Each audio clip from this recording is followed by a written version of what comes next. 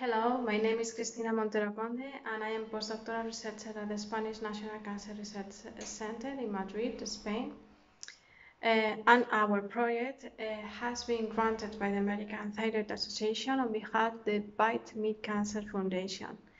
Project's title is Discovering Novel Molecular Nodes Involved in Medullary Thyroid Cancer Development and Evolution. First, let me please introduce uh, you a, little bit what we are planning to do. We aim to improve the genomic knowledge of sporadic medullary thyroid cancer.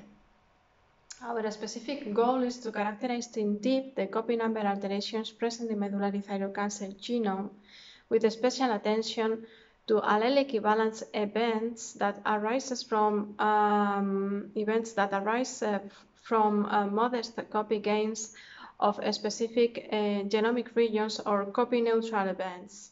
So that means that uh, no genomic material is gained or lost there. These alterations are less obvious than amplification of a large genomic region or deep losses. Uh, that means the loss of both alleles of a specific genomic region. And therefore, the study requires specific high throughput uh, technologies and analysis pipelines.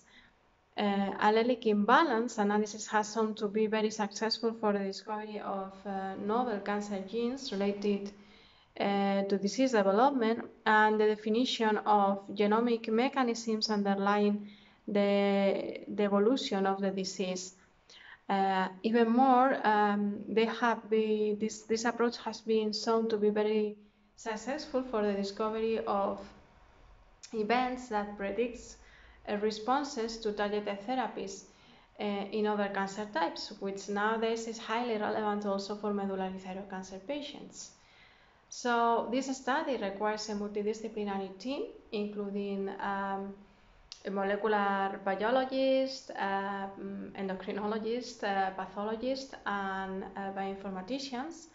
And in fact, this is a professional profile pool that constitutes the research team of this Bite Me Cancer project.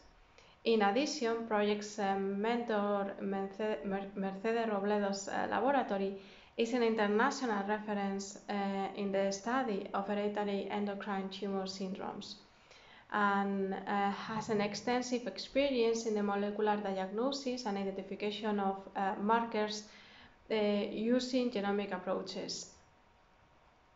So we already have other genomic data for medullary thyroid tumors that we are planning to expand and integrate with uh, uh, the current project's uh, data. And the final goal will be to discover molecular uh, nodes uh, that are associated with um, specific clinical variables and specific uh, aspect of the disease. So we expect that our results have a rapid clinical impact on, on patients.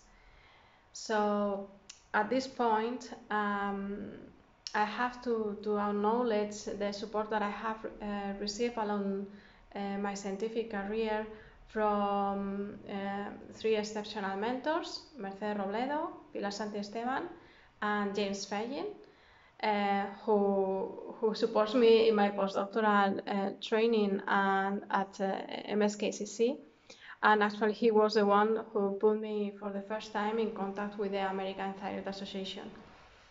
Uh, I'm very thankful um, to, to, to the three, three of them. So last but uh, not least, uh, I'm extremely grateful to the American Thyroid Association and especially to Bite Me Cancer Foundation and, and its donors um, for funding our proposal um, it's an honor, uh, recognition of the work done over the years, and a great responsibility that I face with uh, much enthusiasm.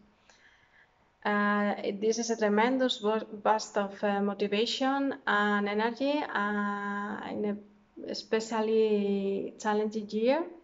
So please uh, accept my my my very deep uh, thanks. Uh, with this, I have to say you bye and, and see you soon.